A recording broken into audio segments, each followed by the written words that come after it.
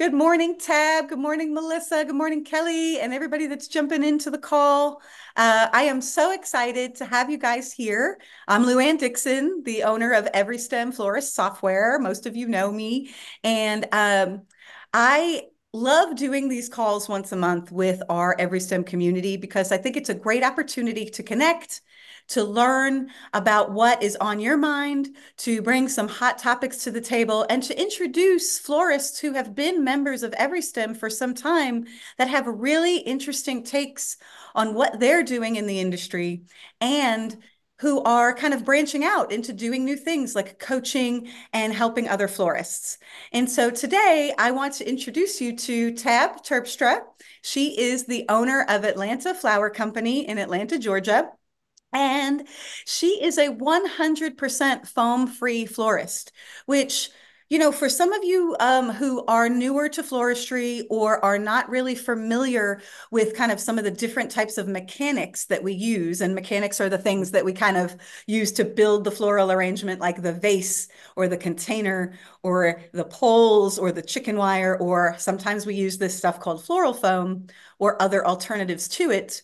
Um, Tab has decided to run her business in a very eco friendly way and in a way that makes her feel good about what she's doing. So I think that's really important to kind of understand that there's no good or bad here. We're not trying to make anyone feel like you shouldn't use flower foam or guilt anyone or shame anyone. We're just exploring these options because, as we all have learned over the years, there are some really bad features and, and, and um, ingredients in floral foam uh, that can be harmful to us um, and to our environment. So we want to be aware of these things. And if you are currently using floral foam in your business, um, just to open up your mind about different options, things we can do to kind of mitigate any health risks that we put ourselves in, um, and then to kind of open up ideas about cool mechanics and different ways we can do things that give us more opportunity.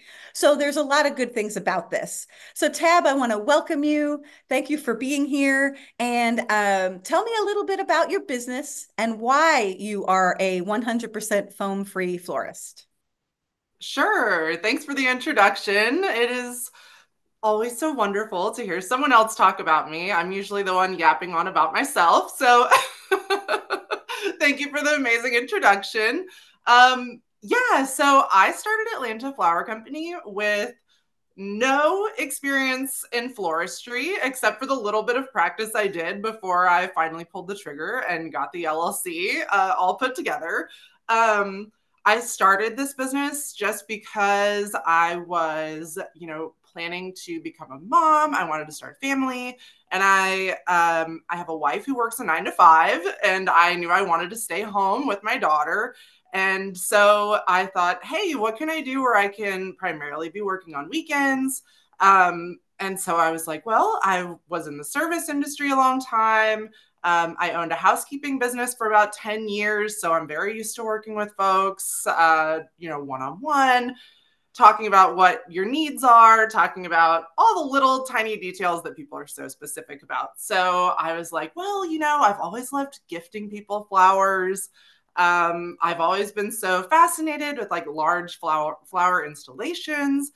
And so I was like, well, I wonder if I could learn. I wonder if this is something I could kind of teach myself. So I did a big crash course. This is when the world was still very small. We were all kind of still locked inside of our houses. Um, and I live about five minutes away from a floral wholesaler. So I was like, let me go in there once a week and kind of get familiar with all these crazy things that are on the shelves in there, these flowers I've never seen in my life. And, you know, so there was a big learning curve, especially in that first like little bit of practicing, kind of teaching myself but all the tutorials I found were you know, in the beginning, like all the stuff that was geared towards beginners was all floral foam all the time. And I I don't know, I just I couldn't reason with myself being like the kind of girl that's using reusable straws at home to try and be more eco-friendly and like using cloth napkins instead of paper towels and things in my own house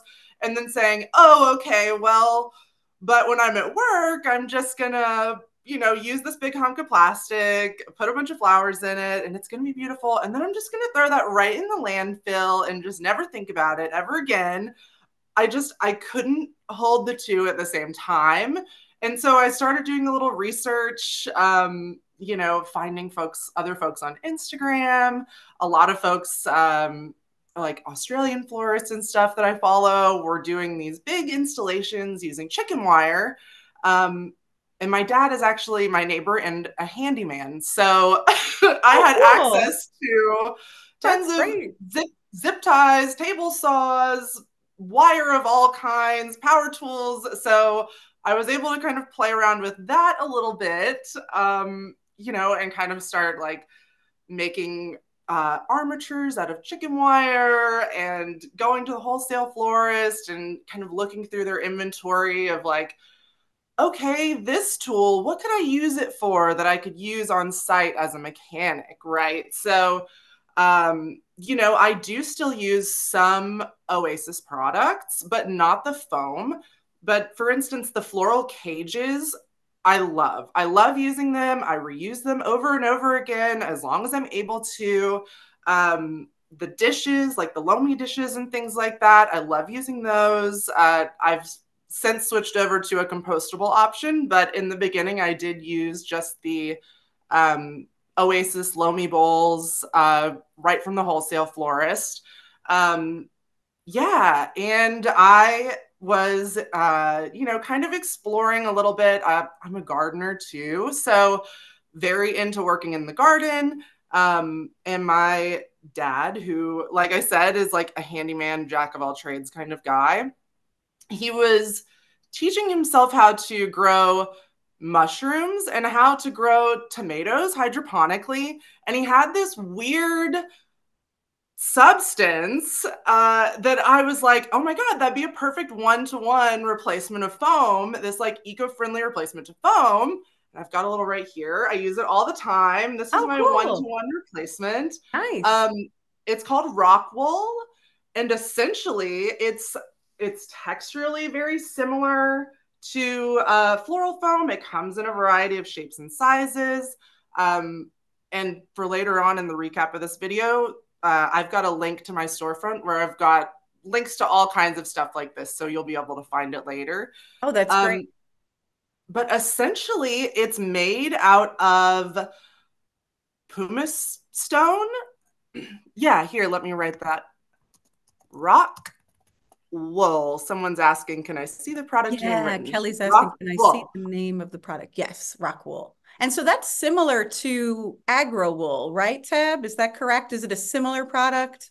Yes, I think um, for legal reasons, we'll say it's very incredibly similar. And okay. that's all we'll say. Uh, you know, I would say it's it's similar in almost every single way, uh, okay. except for the name. Gotcha. So, um, but I've done some, there, but yeah. Yes, uh, they. I think the only you know main difference is they uh, have a handle on higher up manufacturing. So they're able to get some different shapes and different sizes than the ones that are more readily available. Um, got it. it's almost exclusively sold for like hydroponic growing veggies growing plants without soil. Um, yeah which just makes it this like perfect substrate because it's not dissolving in water but I've used it for gardening as well. And you can start your seeds in here and then just put it right in the soil. So it does break down in the soil. And it's essentially just made like cotton candy. So instead of sugar uh, being spun really, really hot and quickly to like whip up into cotton candy, it's dust from pumice stones, like volcanic rock, that's being superheated spun at a very high speed and turns into these wispy fibers. And then they use some mix of like plant matter and uh, sucrose, some kind of sugar as a binder to press it all together into these little blocks. And I use this just as a one to one replacement to foam. And then whenever I'm all done at the end of the day, I can just toss that whole thing in the compost and it's gonna it's gonna break down right here in my home compost. So, you know, occasionally I'll be able to kind of like reuse the um the rock wool for something else in the garden afterwards, but most of the time it just ends up in the compost to save some time. That's so great. So I know that understanding different opportunities with your um, mechanics is so good because sometimes we look at floral foam and we say, okay, that's the only option. You know, it's right. just the most readily available thing for us as florists to use. And frankly, you know, I started as a florist in like 2005, 2006. And it was just kind of like the thing that was kind of pushed at you in, in any Definitely. floral design class or anything like that. So I know with the rock wool, there's a product called the Oshun Pouch that I've done a blog mm-hmm. about. If anybody has questions about that, I'd be happy to talk about it. These products are really good for like installations, things Definitely. where you know you need a water source, but you can't, you know, hang it on the ceiling. I we can't have mm-hmm. use a mm-hmm. bucket in the chandelier or something like that. Um, and it's important to note. I would ask Tab too what your opinion is. I feel like those are really good for like making things like the morning of or maybe the day before if you have a cooler. But those Definitely. aren't really things that we want to use for designs that are going to need to last like four or five days. What's your experience with that and how do you decide when you're going to kind of use something like rock wool versus just a bucket with water or a moss soaked you know chicken wire burrito or something like that Right. So that was another very difficult learning curve because there were definitely some days where I said, okay, I'm going to, you know, cut things down, bring them on site, and I'm going to get them all placed and have all the time in the world, have plenty of time, don't need to worry about this at all. And then just been scrambling right there at the end, like, oh my gosh, I should have done this in advance. I should have done this way in advance. Um, I will say, honestly, with the rock wool, um, I've been able to design three or four days in advance and it doesn't break down. It works just fine. Um, and it does take quite a bit of time to break down in the compost. So I think that's the trade off. But I've been able to design several days in advance. Um, but there are definitely some flowers that are, you know, going to be more sensitive. Definitely, you know, you're working with ranunculus, scabiosa, anything that's like maybe going to bruise, maybe going to bend. Those are all going to be something that you want to do day of on site. Um, and so I I work on that a couple of different ways. A lot of times I will um, prepare a bunch of water picks um, and just have a whole bucket of filled water picks that are already ready to go and I'll cut down my stems and just put them in a vase off to the side at the about the height that I'll need them to be for an installation. That way, when I show up on site, it's just as easy as picking up the water pick that already has water, grabbing my stem that's already pretty close to the right height. You know, it always needs a little adjusting on site. Putting it in that water tube and just pushing it into usually a chicken wire armature, or sometimes um, I'll use like an Oasis cage with this inside if I'm doing something that's really, really lush, um, where I have a, a, nice attachment point where I want something really full.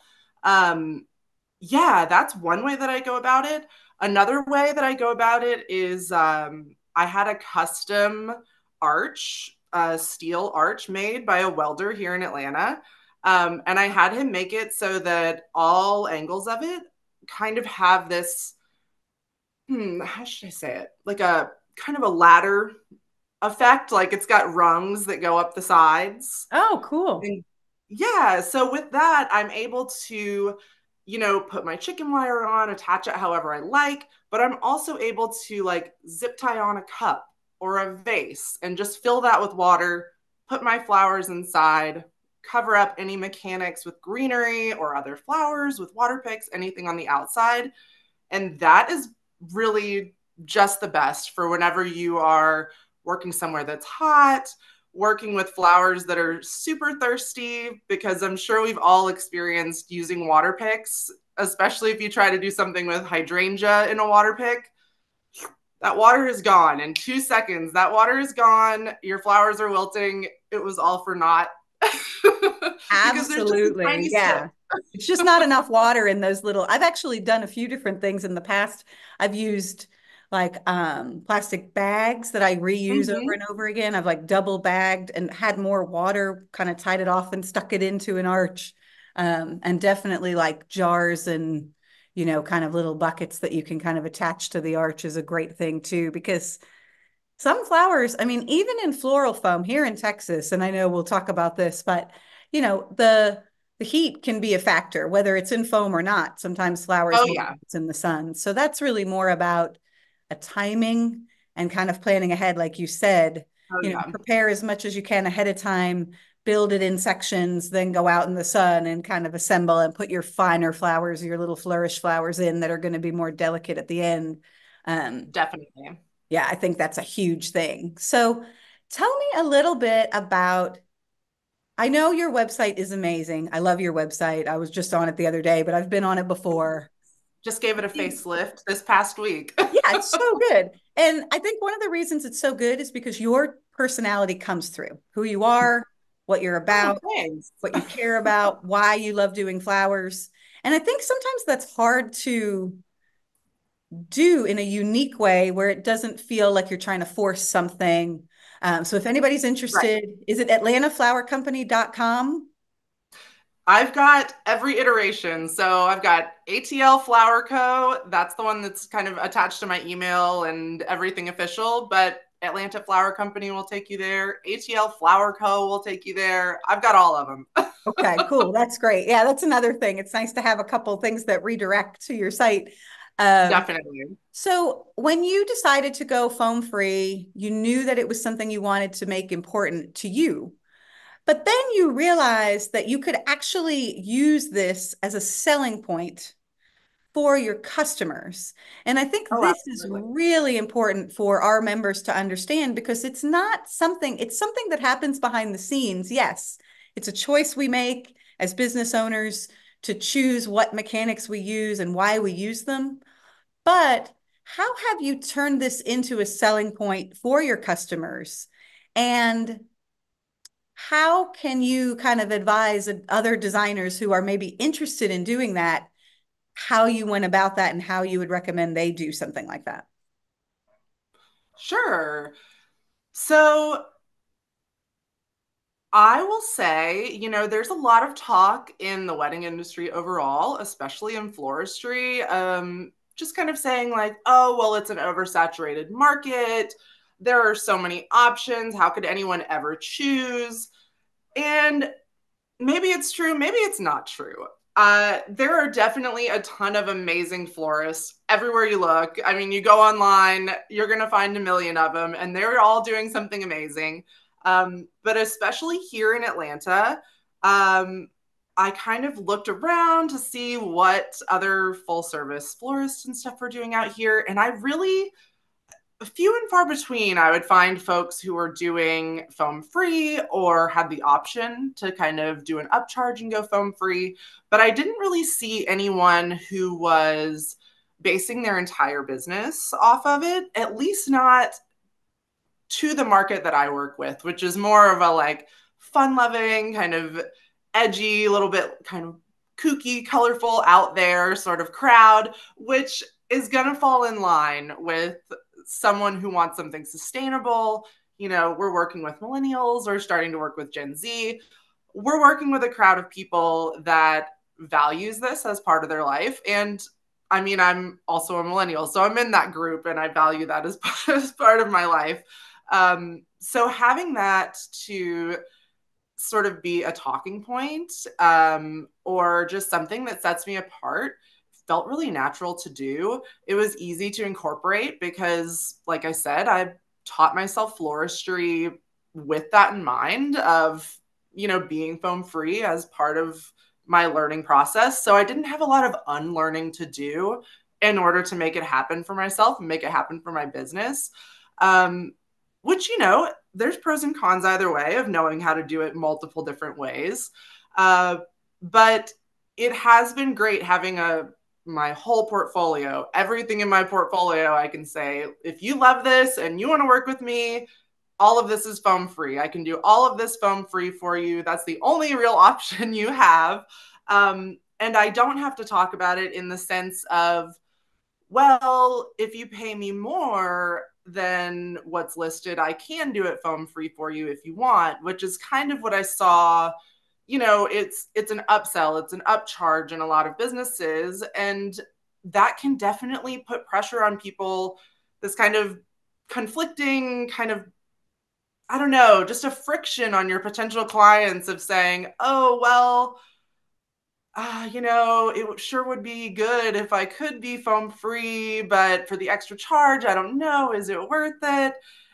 And for me, it's all just built in. And I think that's been really great for my business just being able to say hey these are the prices yes they are a little bit more but yes we're also foam free all the time so it's not foam free if you can afford it it's not foam free if you feel like paying extra it's just this is what we do this is what i'm practiced on i can do this for you and i think even even for folks who are starting to transition slowly or maybe want to toy around with it a little bit and have something to show their potential clients, I would say, you know, start with some foam free centerpieces. Um, you know, even a bud vase is foam free. So if you want to show some foam free work, even a bouquet is foam free, right? So you can start with something small. You can start with, okay, I'm going to do this wedding. I'm going to do all foam free centerpieces. And then there you go. That's your for your portfolio, you can say, hey, if you like these centerpieces, they're completely foam free. It doesn't have to be all at once. It doesn't have to be, I'm going to close down my business for a few weeks while I learn foam free, and then I'll come back and I'll be this completely new business, completely new selling point. You can start sort of dripping it in a little bit or saying, you know, if you want to have a completely foam free wedding, you know, I'll do it at this price or this price so I can get my portfolio built up, the same as we all did whenever we first started our business. Um, but I will say a lot of people have found me just because I put that I'm foam free everywhere. So whenever people are looking up on Google, sustainable Atlanta florist, sustainable Atlanta flowers, eco friendly, foam free Atlanta flowers, I'm popping up pretty close to the top, even without a massive ad budget. I'm I'm showing up at the top because I show off my portfolio. In there, I say, hey, this is foam free. This is, you know, an eco friendly option, the sustainable option. And we see people, you know, people getting married, our couples will, you know, sometimes they'll be opting for bamboo plates or bamboo silverware, or they'll be looking for, you know, other sustainable vendors too and if I'm one of the many sustainable vendors they're choosing from, that's been a great experience too, because I get to work with a lot of the same vendors over and over and get a nice team together.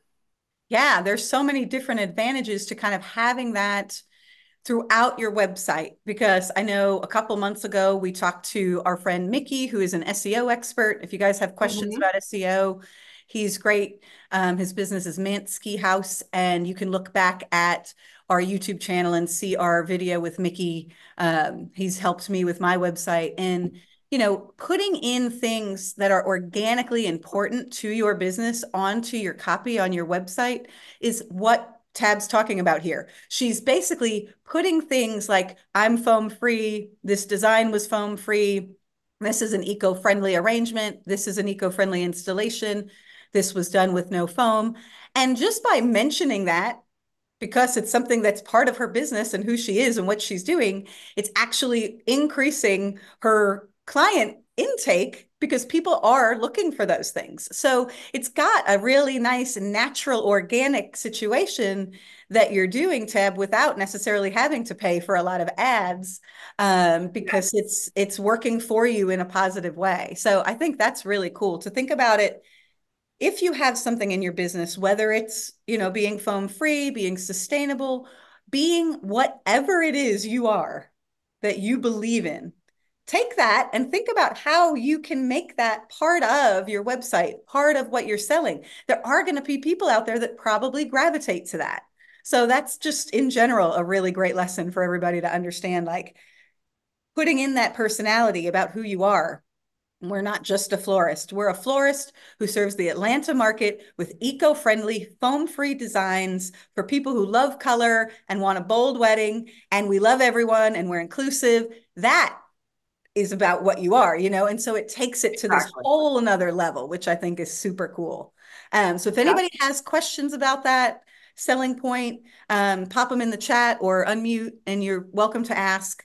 Um, I want to talk a little bit about Tab's designs and I want to share my screen and just show you a recent wedding that she did that she is generous enough to share the recipes with us. So in our next um, group email, we're going to get the recipes for this wedding um, that are all foam free, obviously, and um, we'll be sharing a little bit more about that um, when we uh, go through and, and kind of do the replay and everything. But I just want to show you the images here. And I want to just talk about, see if I can share this, if everybody can see my screen.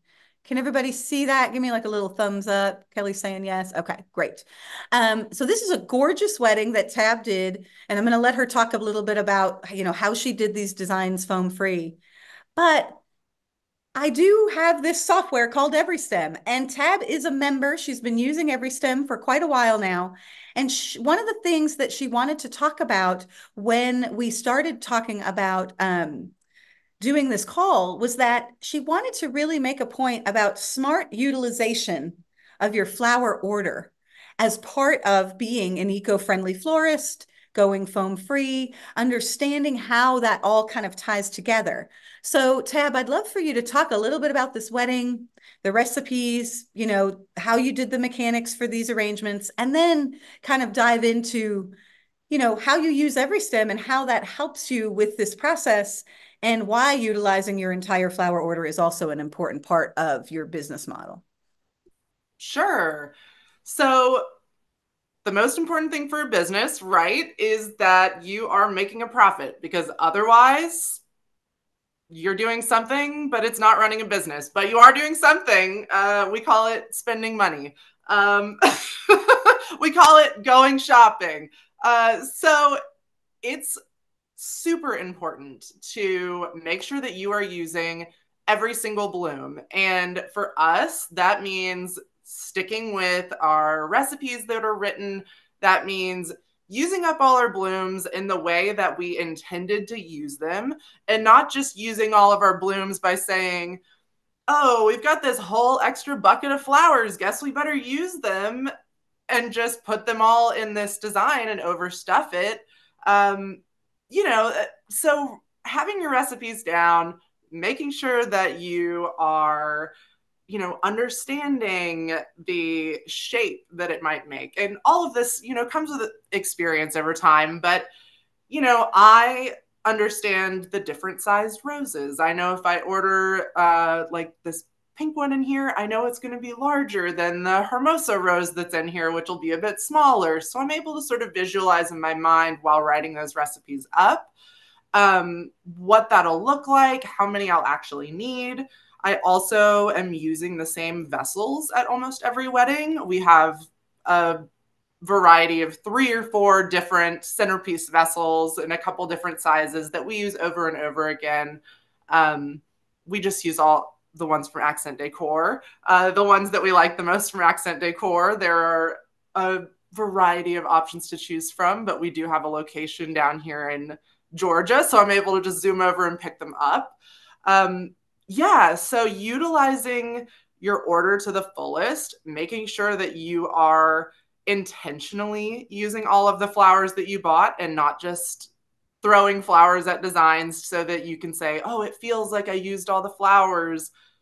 No, no, no, that's not going to work for your bottom line. So at this wedding, we knew that she very specifically was asking for the color palette to be the album cover of a Taylor Swift record, which was a very oh, I love that. That's so cool. I mean, hey, if you love it, go for it, right?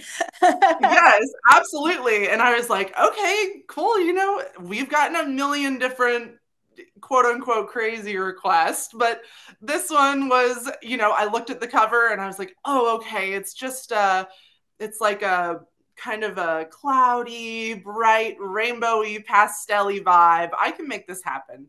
So we knew she loved roses. This was a late February wedding, so you'll see some of the blue uh, muscari in there and sweet peas, which we grow here uh, at my house. The birds have spread them all over my neighborhood, so there's oh, always. Oh, wow! I didn't know you could grow those. That's so cool. I love it. They're great. Honestly, there's too many sometimes, but you'll That's see a in the problem to have. You know, too many sweet peas. Definitely. I know they smell so good. That's awesome.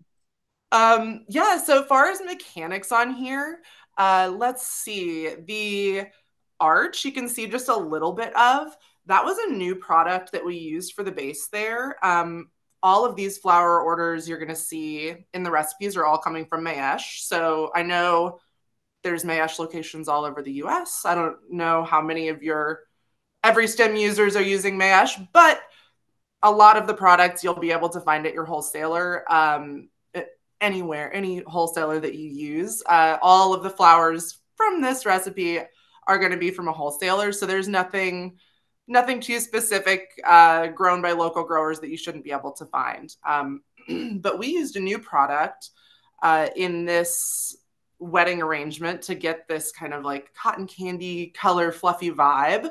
Um, we used some pre-made baby's breath garlands that were um, what is it? Not dip dyed, not sprayed, but they were you know dyed the bucket the bucket water. Oh, from stem up, yeah, they were like That's right. coloring dyed almost. Okay, gotcha. Yeah, yeah, yeah. And whenever we purchased them, um, they came in ten foot or fifteen foot sections, basically just like a big fluffy rope of baby's breath, which was so cool because that meant I didn't have to do it and it was more affordable.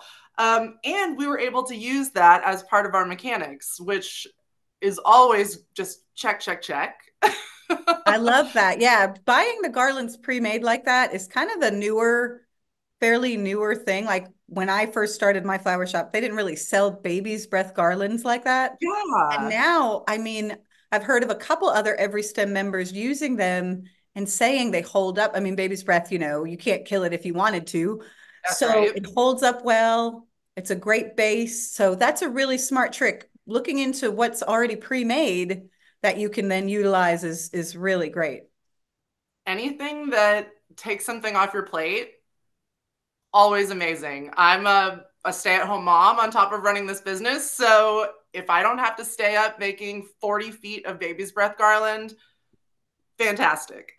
but you'll see in several of these photos um, the one with the arch, the sweetheart table right in the center there, um, that we use that as our base. Uh, for the arch itself, we used it and just attached it to the um, arch that was on site with a couple of zip ties. And then we just pushed our flowers in all along the edge. A couple of them we needed water picks. Like I said, this was February and it was indoors. So with the roses, we actually didn't end up needing a water source at all. We just put them in on site. They looked amazing. No mechanics needed, nice and simple. Um, but with this sweetheart table that's right in the center here, all of that was actually designed in um, disposable metal uh, loaf pans. Like if you've ever made like a banana bread or like bought a banana bread from the farmer's market or something, that kind of like aluminum tin container that's uh, about this big and about this deep. We just used rock wool inside of those containers, made our arrangements in little almost one foot sections put them down on the table, and then put that baby's breath garland right in the front to cover our mechanics. Nobody knew. It looks super lush. It looks like it's blooming right out of the table. Nobody had any idea. We covered it up in the front and then we covered up the mechanics in the back so the couple didn't have to see that mess either. Um, Yes, yes. cover the back, so please, right? That's a big part. Don't yes, forget, if you use mechanics, you have to cover them. It's like your underwear showing. Nobody wants to see that. Totally. Absolutely. I know. I give myself some leeway on the back of an arch or something. No one's going back there.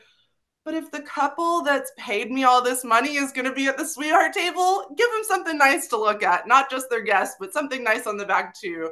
We always try to put a couple of little candles back there too. So it's not just like you're on display to everybody, but you're you're in your nice little cozy moment with your partner as well. So yeah, you can kind of see in here how we are still able to get these really lush, really big, fluffy looking arrangements without using any foam at all. So I know that a lot of times that's a concern for people thinking, oh, well, if I don't have foam, then my arrangements will be small or they'll be, you know, we do arrangements that are airy, but sometimes people are worried, like, oh, it's going to look bald, it's going to look empty, it's going to look like it's not taking up space. When I have found that to just not be true at all.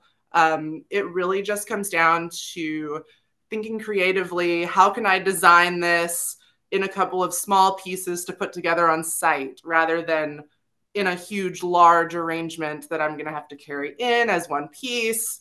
Um, yeah, and then the same with our uh, centerpieces as well. Those were designed in, we use, um, they're linked in my they're linked in my Amazon shop, but they're essentially they're like to go soup bowls that are made with I think like maybe bamboo pulp or something. I know they're tree free and they're compostable and you know they do get a little bit soggy after a few days, but they don't leak water. They hold water. Um, so we'll design in those and we'll design either with a ball of chicken wire or some rock wool if we're doing a large, like a long transport. Mm-hmm. Um, so I'm not sloshing water all over my car. yeah, that's a big factor too, kind of making sure that it's oh know, my gosh container yes. is deep enough where it's not just going to spill everywhere or when you get there you just have to you know if it's a 20 minute drive i've done things where i've dumped most of the water out when mm-hmm. i get mm-hmm. there i refill it so you know we you can always Definitely. do that too. yeah we just design in our sort of like ugly little compostable bowls and then we just drop those right into our vessels on site. There's no need to take up extra space in your fridge or your porch or your shed or wherever it is you're designing by designing directly inside of the bowl. Um, and our clients love it too. So a lot of times we're able to, um, if our if our client decides they want the flowers to go home with them after, they want to send them home with guests, we'll still use those uh, plastic Lomey bowls or we'll use one of the uh, like aluminum tin containers to design in. And then the mm. guests can just lift that right up and just take that home with them. And all we have to do is just come and pick up our vessels and take those home. Win, win, win. Yeah, that's such a great advantage. I mean, I've had over the years so many clients who have asked me to take flowers home. And sometimes I do wonder like, I did a wedding where we had giant, tall branch arrangements with like tall flowers. And that family took every single flower home with them. And I thought, these branches, they're going to poke themselves in the eye like it's a liability. But you know, I got to say, it was the easiest cleanup we've oh, ever. Oh, yeah. Done. And if you can just build that into your business at this point, the the flowers i've always had the mentality of the flowers are the clients.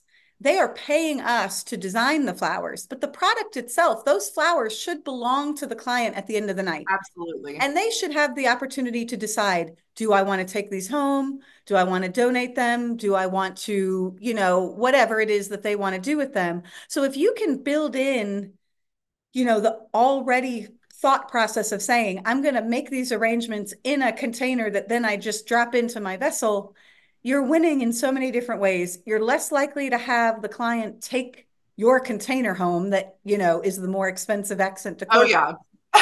You know, and then you don't have a matching set anymore. right. We've all chased someone down the hallway of the ballroom being like, wait, please. Oh, yeah. You know, and so that way, if it's already in a in another liner, they're much more likely to spread that word and let their you know friends and family take it home without taking your containers. And then also you're just doing something else that makes your life easier because once they're gone all you're doing is cleaning up the vases. You're not having to compost flowers and and deal with all that. So that's a lot of exactly. a it lot saves of me the day process. of work the next day. Yeah definitely.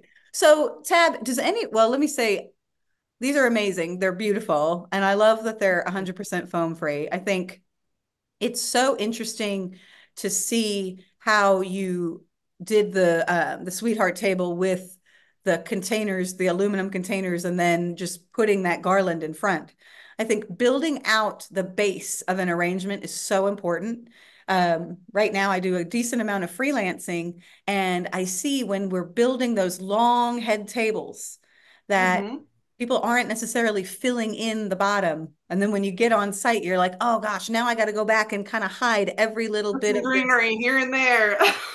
Taking a piece of garland or a few pieces of long Italian ruscus or something and just mm-hmm. laying it in front is such a great way to kind of hide that without having to go and cut a million little pieces of greenery. So I think that's Absolutely. a good idea.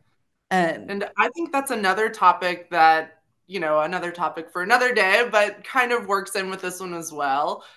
Working with foam free mechanics, one of the best things that I have learned along the way is what can I use that does not need a water source? So, greenery, for sure, figure out which greenery does not need a water source, and you are going to save yourself so much work on site, such a big headache, uh, especially like we do a lot of foraging and stuff. So even knowing like what trees can I go, cut down some limbs and they're still going to look good, or I can just put them in a bucket of water and they'll still look good.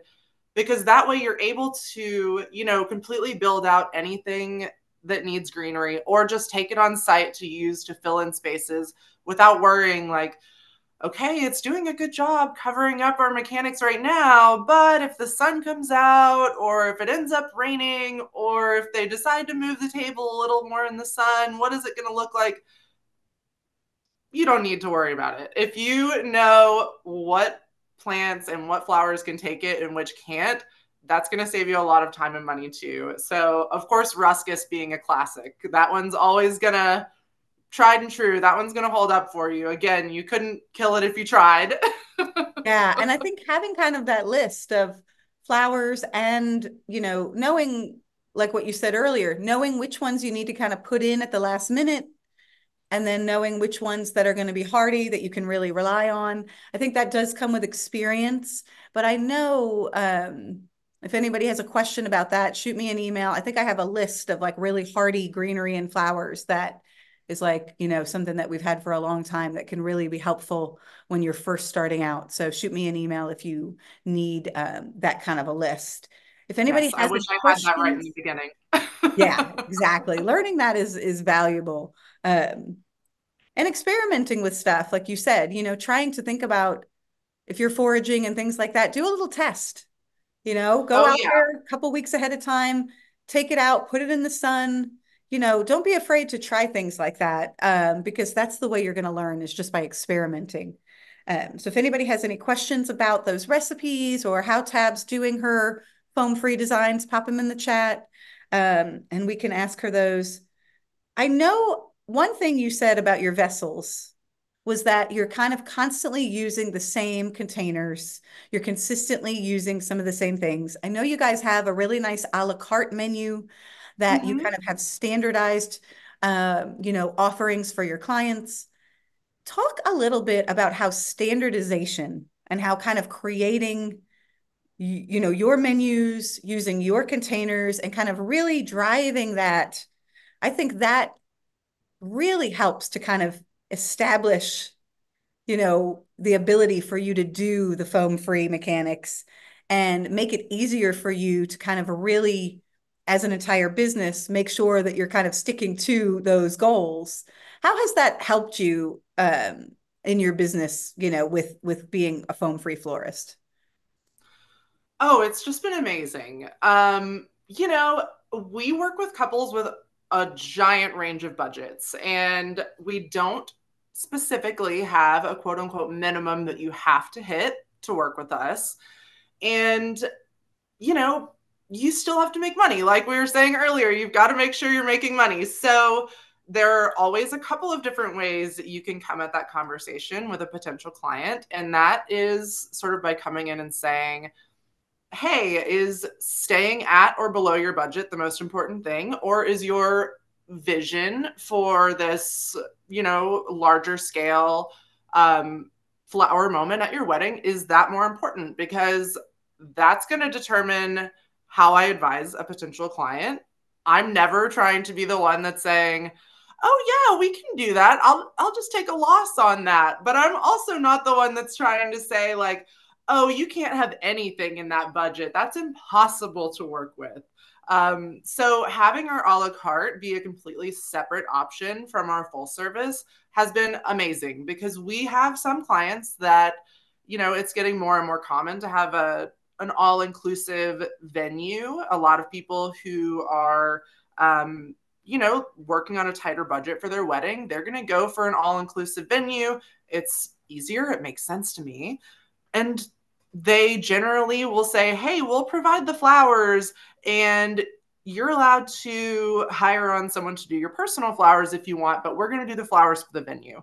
And so we were getting a lot of requests for that for some full service venues here around Atlanta where they were saying, you know, the flowers at the venue are going to be fine. The arch is fine. It's, you know, just a couple of moments here and there. The centerpieces are fine. But for my portraits, for my husband, for my wife, for my bridesmaids, whatever, we really want your work.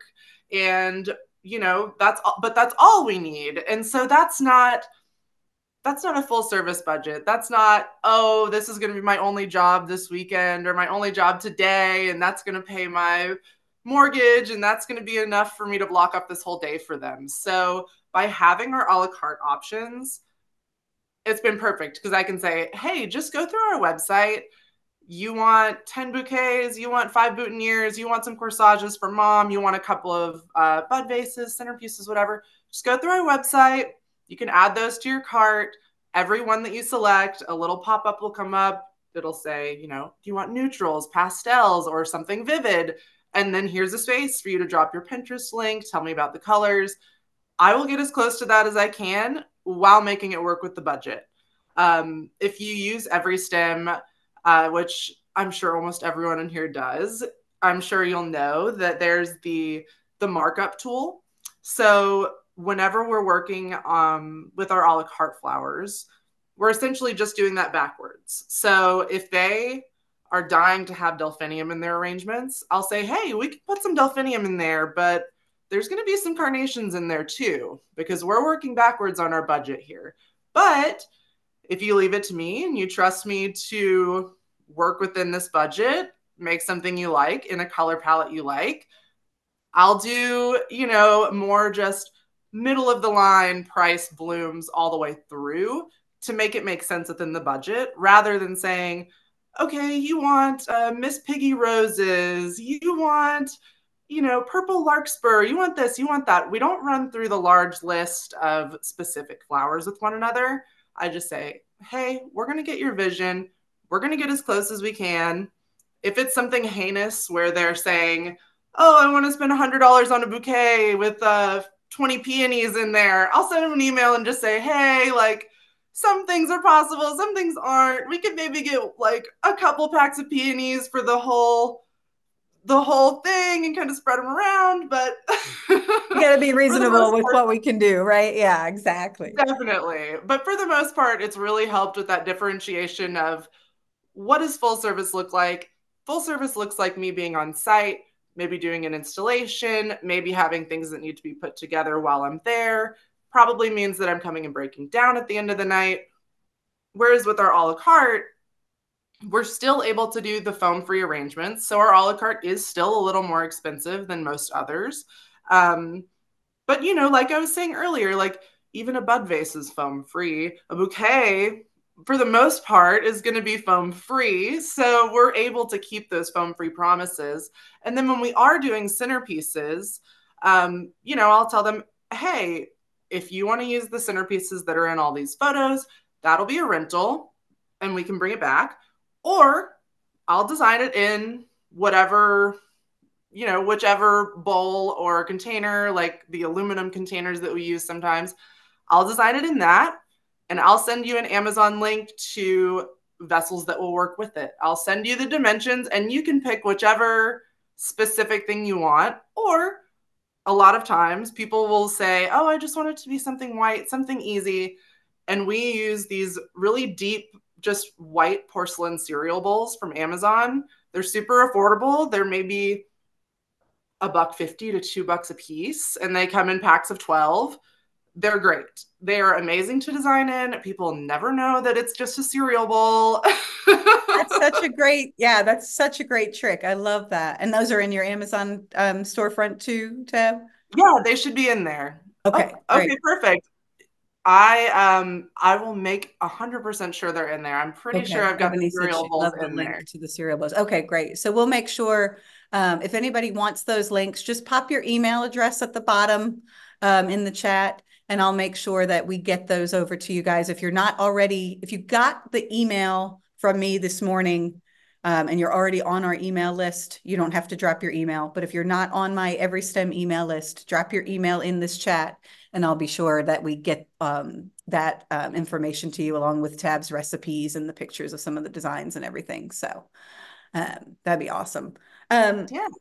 So I know one of the last things you wanted to talk about was kind of composting and how that kind of comes into play being a foam free florist, being a gardener. Um, we have a lot of floral designers who also are, you know, farmers. We have a lot of farmer florists that use EveryStem. So tell me a little bit about your process with that. And um, and then we can do a little bit of questions at the end if anybody has questions. Yeah, sure. So let me start here by saying you don't have to invest a ton of money into getting a compost uh, situation together. But the best place I've found to get a compost tumbler is on Facebook Marketplace at the end of summer because everybody who decided to go all in and spend their tax refund and all their extra money on, oh, I'm going to be a gardener this year.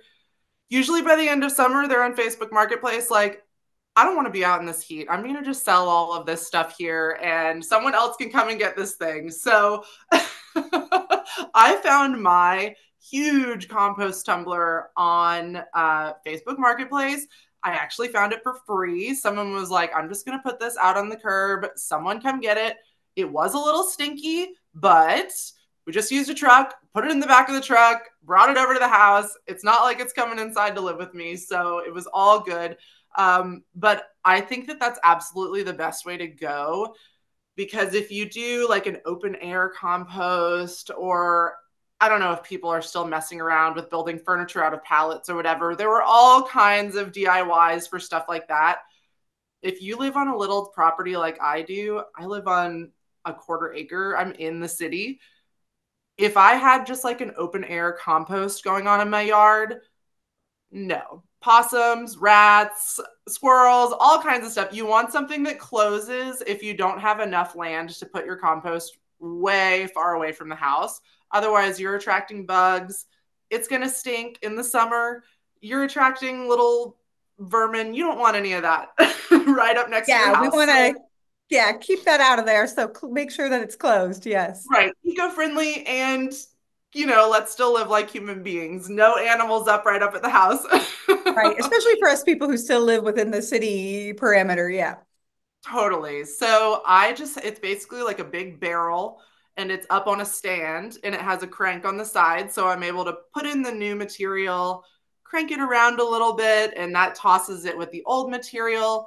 Usually I'm going out there about once a season or so just to completely empty it out.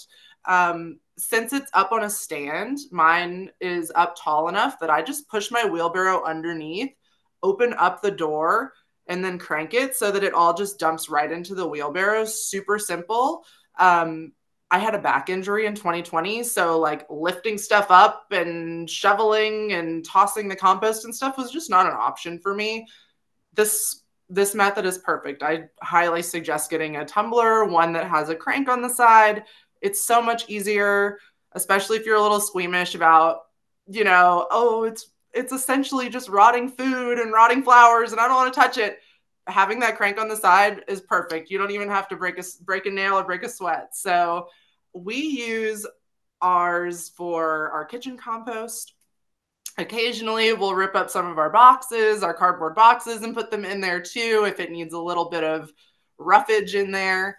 Um, but we are always putting out a tarp underneath our workspace whenever we're processing flowers. All the scraps, all the guard petals from the roses, all the leaves, all the thorns, all the everything go right into that tarp. We just pick that bad boy up, throw it over your shoulder like Santa Claus, take it out to the compost, put it all in there, and just let her cook. She just does her thing all summer long. that's so awesome. I love that. Yeah, I think that's a really smart way because you feel like a little bit. I have one friend who's South Austin and she has a garden and we kind of use the flower boxes at our feet. And then mm-hmm. she has a big pile, compost pile out in the backyard uh, where we throw all the, but for most of the other florists that I work with, you know, we're just throwing it into the trash, into the dumpster. So this is such yeah. a, a much better option, especially if you're working out of a home studio, you know, it can be really viable. Totally. I see a question in here. Can you compost stems from the wholesaler?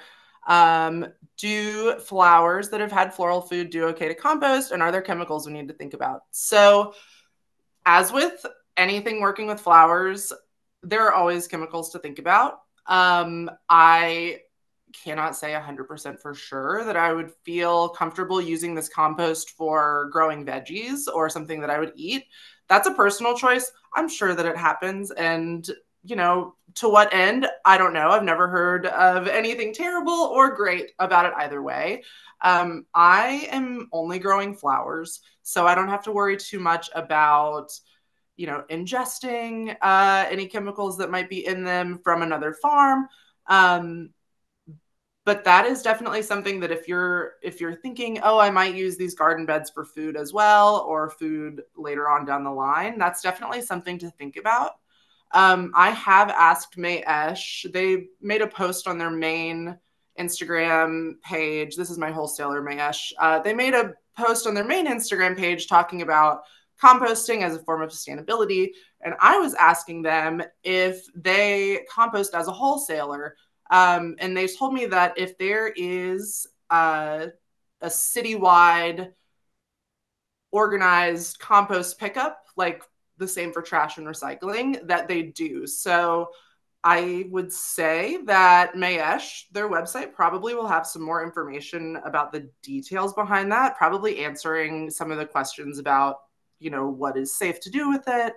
Um, but I do know that they are composting their flowers as a wholesaler uh, to like a citywide um, pickup and that it has been approved for that and you know wherever that compost is distributed after i'm not 100% sure but i know that here in atlanta at least it's distributed around to small local farms but of course you know they're picking up from not just flower wholesalers they're picking up from anyone and everyone so it's mixed in with mostly compost from other farms or restaurants, this, that, and the other. So, with the chemical aspect of it, it really is just maybe a matter of comfort, a matter of what you're doing with the compost after.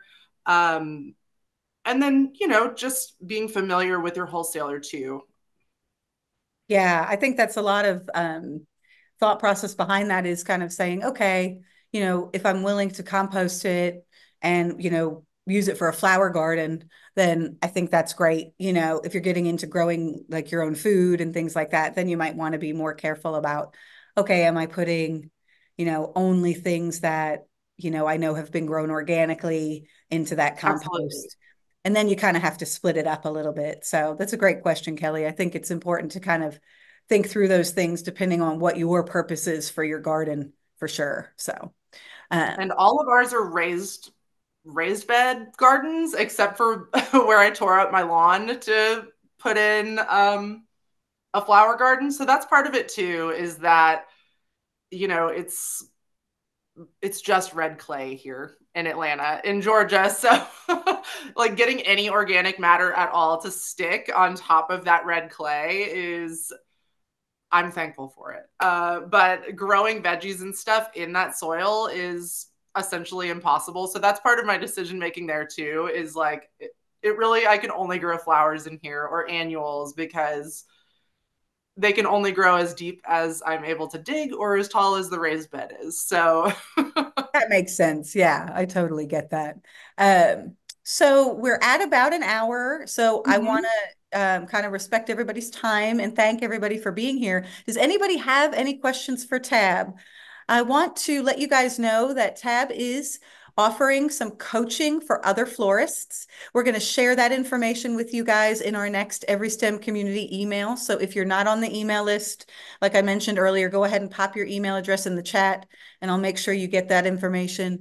Um, we're going to share the recipes that um, are from the wedding that we talked about with her today.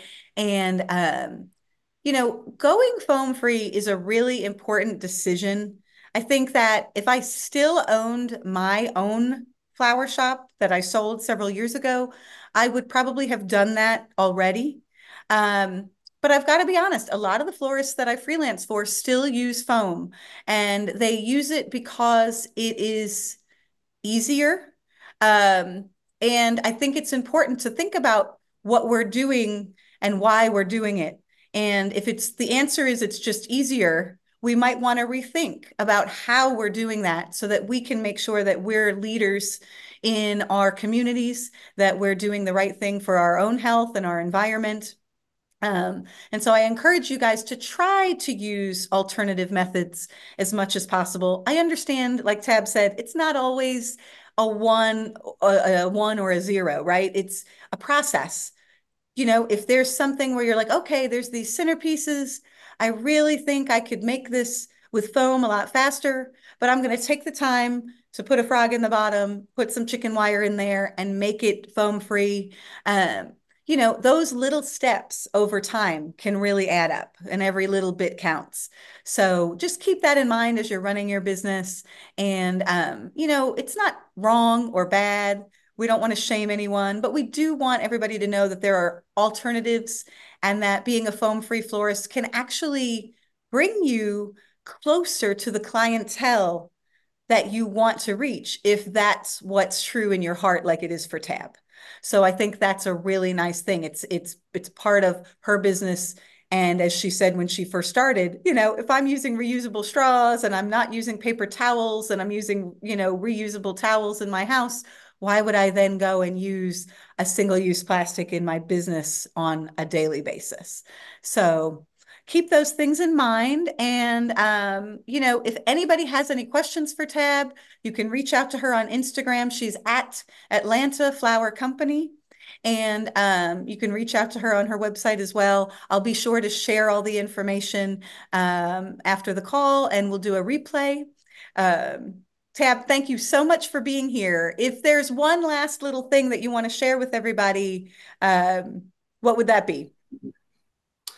I think the last thing that I would share with everybody, just as a last push of encouragement to move away from floral foam, is that you will find you can use less flowers doing designs without floral foam because you are not having to prioritize covering up a big block of green inside of your containers. So that would be my final push uh, to encourage you guys is that you can actually save a bit of money, cut back on your recipes a little bit because you don't have to worry about this tight, full coverage. Um, you can kind of, if you're working with chicken wire, all you've got to do is just cover up that tiny little bit of chicken wire that's showing through with some greenery or something. You don't have to pack it full of flowers because you're using something that doesn't have that unnatural green color, you're able to cut back on your recipes a little bit. So you may even find that even though it's an initial investment for some new tools, you'll save some money down the line as well. I think that's such a great point. You know, a lot of us want to create more open, whimsical, organic, and airy designs. And a lot of times when we use foam, I've noticed, you know, in my own experience that you feel like you end up having to put greenery or put flowers in places that you don't really want to put them because you're totally. covering the mechanics. So that's such a great Absolutely. point. Yeah, awesome. Well, thank you everyone for being here today. I really appreciate it. I hope everybody has a great rest of the month and we'll see you at the next one. Thanks, Tab. Thanks, guys. Bye.